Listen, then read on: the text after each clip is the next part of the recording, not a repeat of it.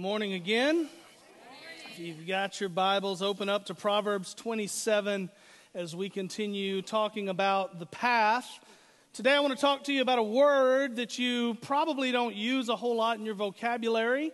Um, it's a word, though, that comes up quite a bit in the book of Proverbs and uh, is translated a couple of different ways.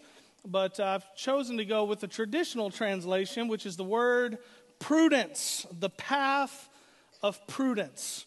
So, uh, Proverbs 27 for this week and next week. Uh, how many of you have ever struggled at something in life? Some of y'all struggled to get out of bed this morning, uh, right? We've all struggled at some point, right? We've all had big struggles and little struggles. Um, how many of you like to struggle? Nope, that's me too. I don't like to struggle. Uh, if you give me the choice between struggling or not struggling, I'm going to pick not struggling every single time if I can, right? Nobody wants to struggle. The only good thing about struggles and struggling is that we learn from our struggles. We might call it experience, but a lot of our experience comes from the times that we struggle. We tend to learn the most in life when we're struggling the most in life. How, how many of you have ever struggled through something and then you got to the end of that something and you said, you know what, if I ever do that again, I'm going to do it different. Or if I ever face a situation like that again, uh, I know that I'm going to do this, this, and this because I want to minimize my struggle, right? We learn from our struggles. I've had a lot of struggles in my life, um, just like each and every one of you. My life isn't perfect. I've had struggles in pretty much every area of my life at one time or another. I've struggled relationally, I've struggled financially, um, I've struggled physically, I've had emotional struggles in my life. I've struggled with God, I've struggled with the Lord, I've, I've had to wrestle with God on things on occasion. Uh, I have kids. I don't want to make them sound like they're bad kids. I know sometimes I, I make jokes about them being monsters and stuff, but they're really good kids. I have really, really four incredible kids. But there have been struggles. It's part of having kids, isn't it? I have a great wife. We have a great marriage, uh, but we've had struggles in our marriage. I don't think anybody gets to, to, to be married very long without struggling. If you want to struggle, just get married. You think, you think, you think, you know, I hear people all the time, oh, we're going to get married and things are going to be great. I'm like, you, have, you don't know what marriage is. If there was a picture of struggle, it would be by the word marriage in the dictionary. It's going to be a struggle. Um, we have struggles. But looking back on my life, I really feel like most of my struggles have been minimized because I learned the value of prudence at a very, very young age. I'm going to tell you a story I've, I have not told many people. In fact, I, I, don't think I've told more than two or three people this story. My mom doesn't know this story. My wife didn't know this story uh, before today. Uh, it's not a story that makes me look bad. It's not something where I did anything wrong. It's just, it's kind of a scary story, to be honest. I, I started flying airplanes when I was 16 years old. started taking flying lessons. And um, I started out like most pilots, flying a Cessna 150. If you don't know anything about Cessna 150s, um, it's like the smallest little airplane, not the smallest, they're smaller, but it's kind of the smallest general aviation airplane people train in. It's a little two seater. It's not big, doesn't go fast, doesn't have a lot of power, but it's cheap. And it's cheap to fly, doesn't burn a whole lot of gas. Um, and like many young pilots, whenever you first start training, the, the most difficult thing, the thing you tend to struggle with the most, is landing. And there's a, a, landing called a crosswind landing where the wind is not, not coming towards you, which is the way you prefer it as a pilot, but it's coming across the runway. Now, whoever planned and designed and engineered our airport here in our city um, either didn't look at the wind patterns of Atascosa County or they said, you know what, let's just make an airport where there's always a crosswind because they, they put, the, they put the, the, the airport in a direction where there's almost always a crosswind. And so you've really got to know how to land in a crosswind if you're going to be based out of here. And I had done a couple of crosswind landings. Uh, I probably had 10, 10 hours, 8 to 10 hours at this point in my flying career, not very many. And I'd actually soloed on a very calm day. I'd been up by myself already and, and had gotten my solo uh, sign off and, and was feeling pretty good. But on this day, I went out to the air, airport for my training session, and it was windy. I mean, crazy windy. It was right at the operational limits of a Cessna 150 for crosswinds. I remember my instructor and I talking about it, and I said, Man, I think it's kind of windy. Maybe, maybe we shouldn't go today. And he said, Nah, it's a good day for training. okay. So we talked about crosswind landings, how to do it. We reviewed all the techniques, how to crab into the wind, you know, how to straighten up and dip your wing and flare and all the stuff that goes with the crosswind landing. And then we decided we were going to go do it. And all through the pre flight, my instructor is telling me just remember, if things go bad, just go around. If it doesn't look good, just go around. If you don't like what you're seeing, just go around. You know, you've always got that option to go around. So we go out, we get in the airplane, and we taxi out, we do our run ups. And right before we're getting ready to take off, he said, Hey, just remember, if you don't like it, just go around. Okay, great. So, man, we take off. Man, it was bumpy, it was just blowing us everywhere. And we turned and we came back on the downwind and we turned and went base and turned for final. And we were getting bumped around and I was having a really hard time just, just flying straight and level. And I knew this was going to be a, a, a, rough, rough landing. I mean, it, it was a turbulent day. And when I turned on the final, I overshot it. I waited too long to turn, and so I had to tighten my turn up, which meant I had to pull back, which meant I got slow. You don't want to get slow um, particularly when you're down low. And, and I got slow, not too slow, but I knew I got slow, so I pushed the nose over and I shallowed my bank up to get a little bit of speed back.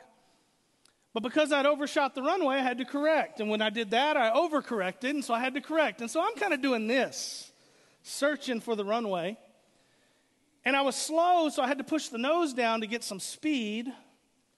And when I did that, and while I was trying to find the runway, I got low. Not too low, not like we're going to go into the trees low, but too low for the glide slope. And so, because of that, I added some power and I pulled up, and I'm still trying to get everything straightened out. And I thought, you know what? I, I think I can do this. The, the whole approach was a mess. I mean, it, it, it was a mess. It was a mess from the moment we took off. I was all over the place. And I remember we came over the fence, and I was still slow and I was still low. And, and we came over the fence, but I thought, I can do this. I can land this airplane. And if I can just land it, we can get out, and we, I'm getting out of this thing. Because it was just a miserable day to fly. And I remember looking out the window and seeing pavement underneath me, which I thought, hey, this is a good sign. We're over the runway. Just put it down. And then, right at that moment, when I transitioned up and just got ready to, to touch down, this huge gust of wind came from our right And I mean, it literally just kind of picked us up and just moved us. And I remember glancing out the window and seeing grass and thinking, well, we're not over the runway anymore. Probably shouldn't touch down here. So I pulled up a little bit, trying to figure out what to do. And then I looked back out the window and I see an airplane hangar in front of us. Because it had pushed us front, over to the left. And if you know about our airport, that's where all the hangars are. And just then I hear in my headset the instructor yelling, Go around, go around, go around. So I crammed the power in as fast as I could and I started to pull up, and the stall warning horn started going off. And when an airplane stalls, y'all, I know you hear this on the news all the time, but people talk about the engine stalling. It's not the engine, it's the wings. When an airplane stalls, the wings stop flying, it makes you fall out of the sky. That's why you don't want to stall. And the stall warning horn is going off, which means you have to push the nose over, but the ground isn't far away, and there's a hangar in front of us. And I'm telling y'all, some of y'all have weed eaters with more power than a Cessna 150. I mean, this little thing is just trying its best, but it just doesn't have a lot of juice behind it. And I had pushed the power in so hard that I had flooded the engine a little bit. And about a second or two after I pushed the power in, it coughed, what we call coughing. It kind of sputtered like it was going to die. And my heart stopped, and his heart stopped. And right at that moment, he said, My airplane. I said, Your airplane. Have it. you bet it is. And he was able to push the nose over and get us enough speed, and he was calm and cool and collected. And we got a little speed, and he pulled up, and we cleared. We flew right over the top of the hangars. To me, it felt like we were just four or five feet over the hangars. I'm sure it was 30 or 40 feet by the time we got to them.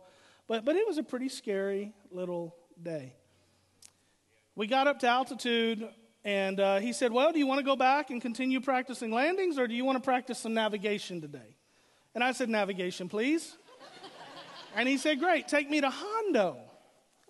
So I got my, my charts out, and I plotted a course, I tuned in a VOR, and we flew over to Hondo. Now, the thing about Hondo is, uh, it was windy in Hondo too uh, this day, but Hondo has multiple runways. They face different directions. And so we were able to just pick a runway that had the wind going right down the runway. Made a great landing in Hondo. We taxied over to the little FBO. We got out, went in. I cleaned my britches and uh, kind of caught our breath. And then we sat down and we started kind of talking about what had happened. And I'll never forget my instructor didn't critique my landing. He didn't critique my technique. He, he didn't say, hey, if you would have done this, this would have been better. If you would have done that, that would have been better. He started with a question. And, and he said, Do you know what the difference between a wise man and a fool is? And I said, No, um, probably not. And he said this, and I'll never forget it. He said, A wise man does at the beginning what a fool only does at the end. He said, What you did was foolish. You had every opportunity to go around. You knew from the start of that approach, when you overshot the runway, it was a bad approach. You knew when you got slow the first time it was a bad approach. You knew when you were low it was a bad approach. And you just kept going. He said, A wise person does at the beginning what a fool only does at the end. He said, You're in an airplane. Go around, make a second approach. He said, We flew over here to Hondo and we picked a better runway and we landed. And you know, to add insult to injury, about an hour later, we flew back to Pleasanton and the wind was calm. It was all gone. And he said again, he said, See, you could have just stayed up there above the airport. You had four hours of fuel. You could have just waited for the wind to be better. Right? The wise do at the beginning what only a, what the fool waits till the end to do. I think a lot of us are going through life kind of like that.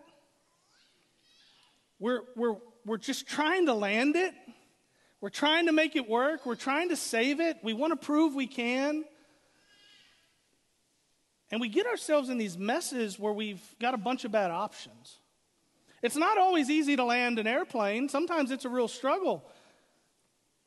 And it's not always easy to, to live your life. Sometimes it's a real struggle. But if you're prudent, if you're wise, you're going to have a lot better chance of surviving. Don't wait till the very end to try to save it. But that's what we do. We wait until our finances are completely shot to sit down and do a budget. We wait until our spouse gives us the divorce papers to decide, hey, I'll go to marriage counseling. Don't do it. We wait until we have cancer or the heart doctor tells us we have congestive heart failure to modify our diet and start going to the gym. We wait until our life is totally in the gutter before we start paying attention to what the Bible says and reading it and going to church and joining Bible studies and things of that nature. Proverbs 15 24 says, For the prudent, the path of life leads upward. I think that's what we all want. We want a path that leads upward, we want a path that leads to a good place. Prudence is the key to that. Proverbs 27 12, our text for today says this The prudent sees danger and hides himself, but the simple go on and suffer for it. The big idea for you is simply this seek the prudent path, or you will walk the painful path. Seek the prudent path, or you will walk the painful path. I've got two things for you today, two things prudent people do, two things we should all be doing, and we're going to do two more next week from the same verse. We'll continue it. But here's the first one it's this the prudent are able to perceive. The prudent have the ability to realistically perceive what's in front of them. You might say, well, the, the prudent think or the prudent consider or the, the prudent weigh their options, or the prudent reason, or the prudent are able to examine and evaluate their circumstances. You can say this in a lot of ways, but the bottom line is prudent people are able to realistically ponder and think about and consider what's in front of them. And I want to be specific here because the, the, the word realistic is important. Because I see a lot of people who think they're prudent, but they're, they're not prudent because they leave out that one key part of prudence, which is being realistic.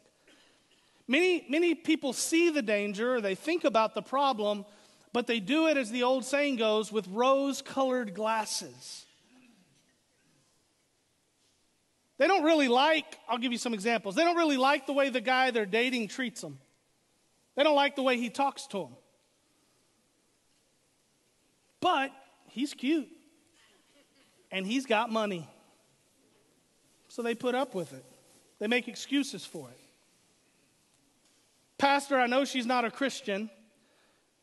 I know her family are agnostic or atheist.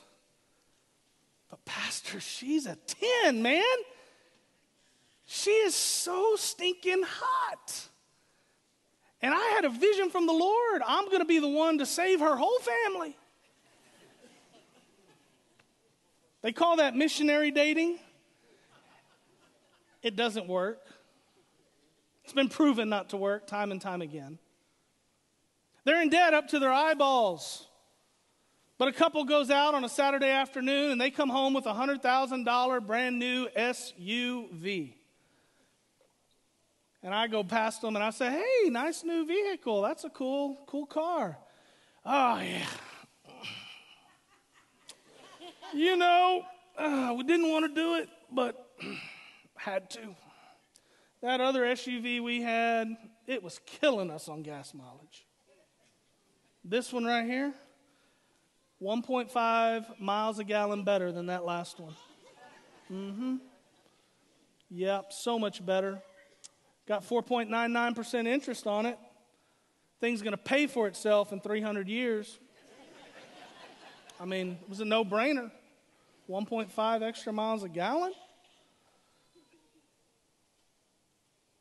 Grandma and grandpa both died of lung cancer. Mama's got emphysema. But you think smoking's okay. It's not going to hit you the way it did them because you only smoke half a pack a day and they all smoked a whole pack a day. Listen, there's nothing illegal about dating somebody who doesn't treat you right. There's nothing illegal about dating somebody who's not a Christian, not a believer. There's nothing illegal about going out and getting you another car loan or smoking cigarettes. But there's also nothing prudent about it. If you're really realistically looking at it, there's nothing prudent about it. You see, the path of prudence starts with the ability to realistically perceive whatever it is you're looking at. Verse 12 says, The prudent sees danger. They can see it. They have a level of perception in their lives that gives them the eyes to see and the ears to hear and to know when danger is about. They perceive it, they ponder it, they consider what they're going to do about it. They recognize and they realize at the beginning what only the fool sees at the end. If I'm being honest with you, the problem many people face today is not that they can't see the problems or the struggles related to the path that they're on, it's much worse than that. The problem is is that they don't want to see the problem. Just like when I was trying to land that airplane, I, I didn't want to admit I couldn't do it. I didn't want to admit that I was on a bad path. I didn't want to be embarrassed in front of my instructor and, and make it look like I wasn't a good pilot. I wanted to land. And instead, I almost crashed. See, many people today are in the same boat. They're on a similar path. They know that the behavior issues they're facing with their children right now while they're young are issues, but they don't want to admit it. So they justify it, they excuse it, they ignore it, they pretend like it's not an issue. But the path they're on is a bad one. People know their marriage is in trouble, but they don't want to admit it. So they just get on social media and keep posting those perfect pictures that make it look like life is grand for them. When you ask them how they're doing, they say everything is great. But I'm telling you, when they look out the window, they see danger. They see a hangar ahead, they see a crash coming. But they want to pretend like it's not there. It's the same with money. Debt's crushing American families today. One study found that the average American between the ages of 30 and 50 has 27,000 in non-mortgage debt. So for a married couple that'd be $54,000 of non-mortgage debt. The same study found that on average an American family spends 27% of their income their family's income paying the minimum and the interest on their non-mortgage debt. Over a quarter of their income is just to pay for interest and the minimum payments they have to on all their non-mortgage debt. But we just keep spending and spending and spending like it's no problem at all. And you know what? When it finally overwhelms us, we think, man, you know, if I could go back five years or 10 years, or man, if I could go back to when I was 20 and start again, I wouldn't have taken all that debt on. I wouldn't have signed up for that. I wouldn't have gotten a new car every three years. Now, I would, I would have done it completely different. Remember what my instructor said? A wise man does at the beginning what a fool does at the end. I can't tell you how many young people I've met that say something like this to me. Well, Pastor, if I knew he was going to get me pregnant, I would have never moved in with him. Now, a prudent person could perceive that when you move in with somebody before you're married and you sleep with them on a regular basis, you might just end up having a baby. These are not mysteries of the universe. Or I hear young people say, well, she's not a Christian pastor, but, but boy, she's good looking. Or he doesn't treat me well, he treats me like trash, but you know how much money his family has? You see, a prudent person isn't impressed by those things. A prudent person doesn't fall into those traps. They do at the beginning what the fool does at the end. They say, bye bye. See you later. See, if we want to be prudent people and have a positive outcome and walk a positive path toward a destination in our future, we have to have the ability to realistically perceive what we're looking at to realistically perceive the path we're on. Proverbs 4:26 says, "Carefully consider the path for your feet, and all your ways will be established." But you've got to carefully consider them. Have you carefully considered the path you're currently on? If you seriously and realistically and carefully considered the path you're on right now, would you say it's the path of prudence? Is it going to take you to the destination you want to go to? There's a warning offered in Proverbs 5 says essentially the same thing but in a different way.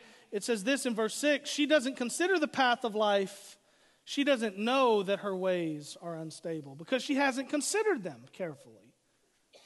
See, when we fail to consider and ponder and perceive realistically the path that we're on and where it's going, we're on unstable ground.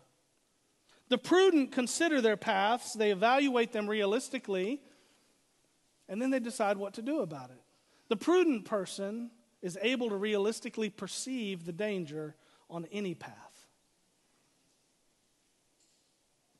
Seek the prudent path, or I promise you, you will walk down a painful path. Number two, here's the second thing the prudent are able to do the prudent pivot. They have the ability to change, they have the ability and the discipline to pivot when needed. Seeing is important, but you can't be prudent if you don't have the ability to pivot when the time comes. There are many people who can see the danger, but they just continue to walk down the path. Doesn't make you prudent if you see it and identify it. It's not enough. You have to also be able to pivot once you've seen it. You see, you're not prudent because you see it, you're prudent because you see it and then you do something about it. But the ability to change is tough. Nobody wants to change, change is hard. That's why pivoting is a mark of a prudent person. Not everybody does it. Those who aren't prudent never change. The ability to say it's time to go around, it's time to change course, it's time to change path, it's time to call this one off. That's a pivot. Proverbs 27 12. The prudent sees danger and hides himself. He did something about it.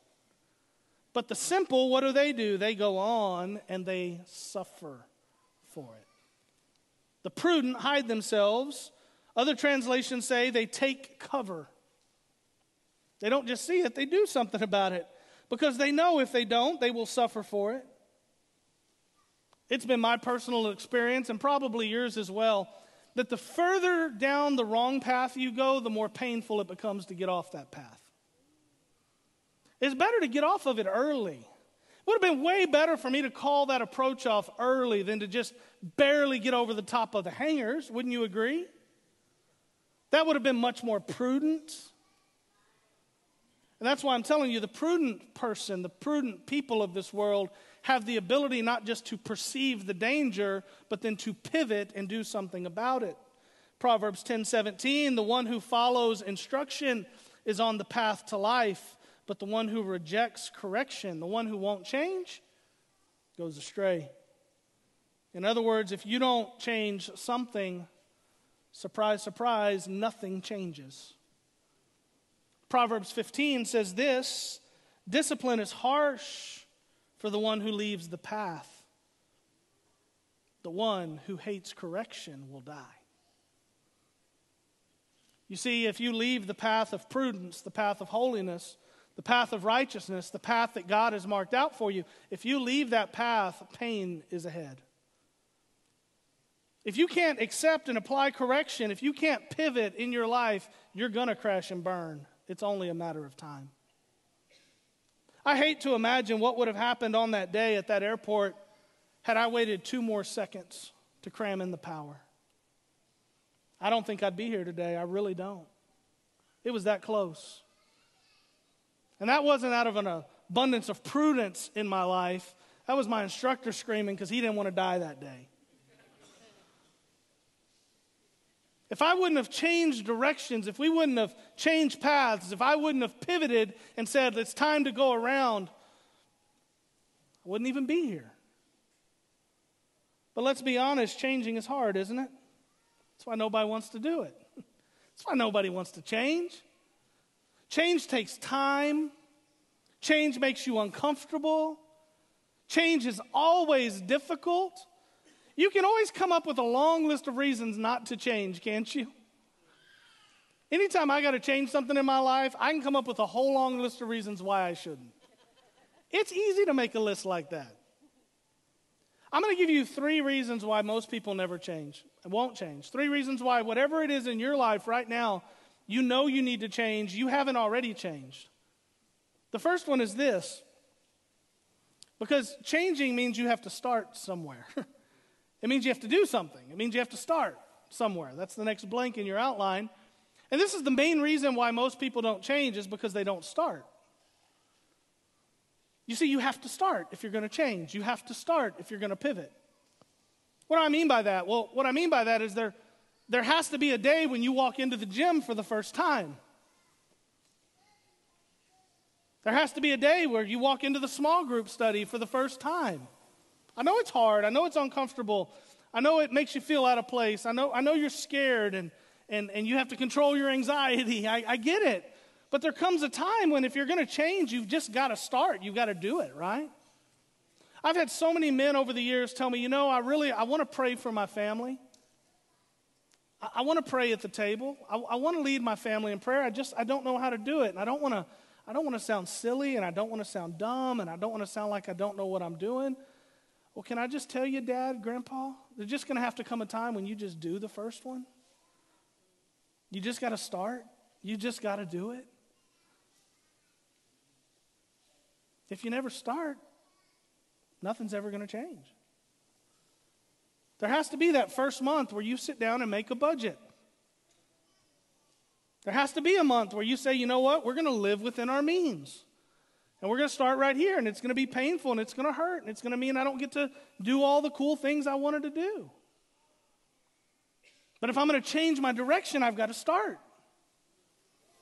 There has to be that day where you put the bottle down. There has to be that day where you put the cigarettes up and you don't go back to them. If you don't start, it's never going to change. There has to be that time where you sit down and you say, you know what, Lord? I'm going to write a 10% tithe check. I've never done that before in my life, but I'm going to trust you and I'm going to tithe 10% from here on out. There has to be the first one. There was a first one for me. There, there, there comes, I mean, it's old hat now. I don't even think about it. It's even all automated in my life. But it wasn't like that always. There was a first one. You have to start. You have to make a solid commitment to be in church every Sunday, not just when it's convenient for you and there's nothing else on the calendar, but hey, we're not planning things on Sunday. I mean, you're going to go on vacation. I mean, obvious things like this, but, but we're not going to fill our Sundays and our weekends up with stuff because we're going to be committed to what God has for us on Sunday. People say all, to me all the time, Well, Pastor, is it okay if I go hunting on Sunday? Is it okay if I go fishing on Sunday, Pastor? Pastor, is it okay if I stay home because the Cowboys are playing at noon this Sunday? Pastor, do you think it'd be, a, be okay? I had a long week at work if I just didn't come this week. Hey, you're asking the wrong person. You need to ask God. This is His day, it's not my day. This is the Lord's day. Like, there has to be a time in your life when you just say, you know what, I'm going to give that day to the Lord. Not because it's easy, but because it's prudent. See, the bottom line is people won't change simply because they won't start. Albert Einstein said the measure of intelligence is the ability to change. Jack Welch said, if you, he said, if it's better to change before you have to. That's a good one. Roy T. Bennett said, if you want to fly, you have to give up what weighs you down. George Bernard Shaw said, Those who cannot change their minds cannot change anything. Yeah, but what does the Bible say about change? Well, I'm glad you asked. I don't have enough time to go through a bunch of scripture with you, but let me hit some highlights. You'll recognize these people and their stories. The Bible's full of change. Abraham had to change his whole country, his citizenship, his residency. Jacob had to change his name. Joseph had to change all of Egypt to save that country and his family and many millions of others from famine. Moses had to change his profession late in life. He was tending those goats when God said, Go back to Egypt and set my people free. Nehemiah had to change the skyline of a city and a landscape of a culture that was corrupted. Jonah had to change his direction so God could change Nineveh. Esther had to change what was going on inside of her life because God needed to use her to change the course of a nation. The prophet Jeremiah and Isaiah, many of the other prophets in the Bible, all were out there trying to change people's attitudes and minds about God. You remember Joseph, the father of Jesus? What was he going to do to Mary? He was going to divorce her when he found out she was pregnant, he had to change his mind and his heart on that. He had to change, think about this, man. That man right there had to change his entire life to accommodate God's plan for the world. Wasn't his fault, wasn't his plan, probably didn't fit into his 10, 15 year plan he had for his life. He had to change everything to accommodate God's plan. Peter was a fisherman. Jesus said, I'm going to make you fishers of men. There was some change involved in that. Matthew was a greedy tax collector. He was transformed into a gracious and generous disciple of Jesus. Every single one of the disciples, every single one of them had to change so God could use them to change the world. Paul was persecuting the church long before he was planting them. There was a lot of change that took place in his life. And what about Jesus? Well, Jesus came into the world to change the whole thing, to transform and restore all of us so we could be redeemed and made holy. The Bible's full of change. If the Bible's about anything, it's about people who changed, were changed, and at some point had to take the very first step to change. See, change isn't easy, but I'll tell you this it's impossible if you never get started. And most people don't change simply because they don't start. But the prudent, well, they're willing to change. Seek the prudent path, or you will walk a painful path. Number two, second reason why most people don't change is to change, you have to sacrifice something. Changing almost always means you have to give something up. No more soda and fried chicken for you, fat boy. if you want to change, you're going to have to give it up. You want to change your financial position, you're going to have to cut those credit cards up. You're going to have to live within your means. No more new cars for you for a long, long time. No more lavish vacations. You're going down to the Atascosa River. That's what you're going to do for vacation next year, right? You're camping in the backyard. You can't afford to do anything else if you're going to change. Premarital sex, it's got to stop. You're going to have to sacrifice it, put it away. It's not God's plan for you right now. You shouldn't be doing it. Maybe it's giving up watching the news five or six or seven hours a day and reading your Bible for 30 minutes instead. Maybe you're going to have to sacrifice some time at work and maybe even making money at work or getting a promotion at work so you can actually spend time with your family who need you, who you aren't going to have if you stay on the path you're on right now at work. See, making a change or pivoting always requires that you sacrifice something. Every single one of those people I mentioned before from the Bible, every single one of them had to make huge sacrifices. Some of them, including Jesus, gave their lives as a part of change that God called them to lead. See, this is why change is hard, and it's why only the prudent pursue it. We don't want to change. You want to know why? If we're just being honest, it's because we're selfish people and if it re- requires sacrifice, then we're not interested. But it's going to require it if you're going to really change. And then here's the third reason why most people don't change. When you change something, anything, when you pivot, you're going to suffer. In some way, you're going to suffer. Sacrifice almost always leads to suffering. Sometimes the suffering is just the embarrassment of admitting you were wrong. Sometimes the suffering is just the embarrassment of having to admit to your friends and family that you're changing because you realize the path you were on was a bad path. Even though you've spent the previous two, three, four, five, ten years defending that path and talking about what a good one it was. Right? When we make prudent pivots in our life, people notice. And we're going to have to explain why we've changed. And part of that's going to be saying, I was wrong. The pivot initially almost always brings about some sort of pain.